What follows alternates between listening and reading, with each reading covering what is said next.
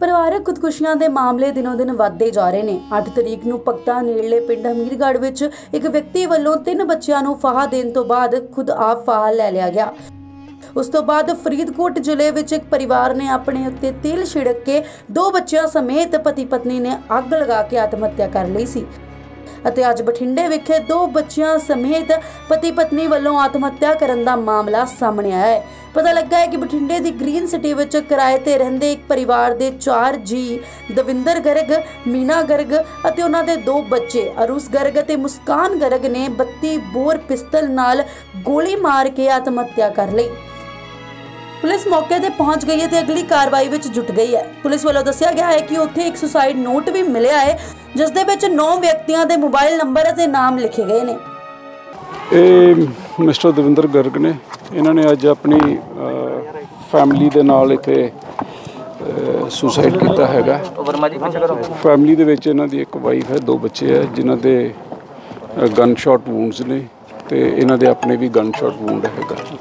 Sir ਕਾਰਨ ਕੀ ਹੈ? ਕੋਈ ਸੁਸਾਈਡ ਨੋਟ ਨਹੀਂ ਸੁਸਾਈਡ ਨੋਟ ਮਿਲਿਆ। ਸੁਸਾਈਡ ਨੋਟ ਦੇ ਵਿੱਚ 8 9 ਬੰਦਿਆਂ ਦਾ ਨਾਂ ਹੈਗਾ।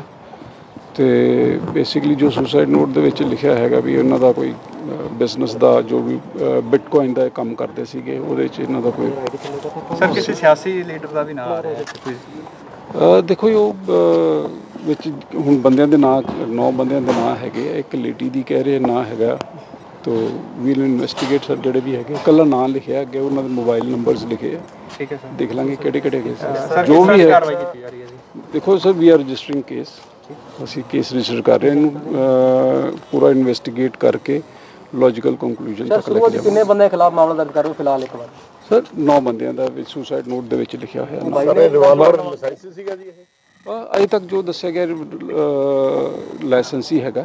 32 ਬੋਰ ਦਾ ਰਿਵਾਲਵਰ ਮਤਲਬ ਬੱਚੇ ਬਾਰੇ ਕਿ ਲੇਡੀਜ਼ ਨੂੰ ਕੁਝ ਪਤਾ ਲੱਗਿਆ ਉਹਦੇ ਬਾਰੇ ਕੁਝ ਕਾਂਟ ਇਹ ਅਜੇ ਤੱਕ ਇਨਵੈਸਟੀਗੇਸ਼ਨ ਦਾ ਮੈਟਰ ਹੈ ਇੱਕ ਇੰਨੀ ਜਲਦੀ ਕਿਸੇ ਕੰਕਲੂਜਨ ਤੇ ਨਹੀਂ ਪਹੁੰਚਿਆ ਸਰ ਨਵਾਂ ਦੇ ਬਾਈ ਨੇ ਵੀ ਹੋ ਰਿਹਾ ਫਿਰ ਮਾਮਲਾ ਦਰਜ ਇੱਕ ਵਾਰ ਤਾਂ? ਹਾਂਜੀ ਨੌ ਬੰਦੇ ਬਾਈ ਨੇਮ ਉਹ ਨਾਂ ਲਿਖਿਆ ਵਿੱਚ।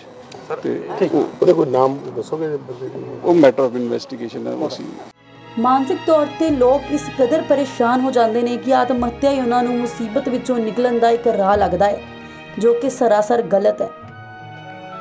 ਬਠਿੰਡੇ ਤੋਂ ਜਸੀ ਬਰਾੜ ਦੀ ਰਿਪੋਰਟ ਸਾਂਝਾ ਟੀਵੀ।